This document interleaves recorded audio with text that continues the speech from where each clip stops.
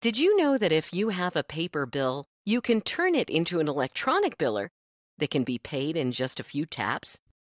With Bill Capture, it's just that easy.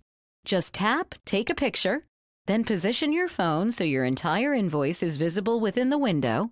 The software will attempt to locate your bill, then ask you to hold still while it snaps a picture of it. If it's readable, our OCR technology then attempts to extract the biller's name, amount due, and due date to create your biller automatically. If a field can't be read, simply fill in the missing information. Then, save your bill. How easy is that?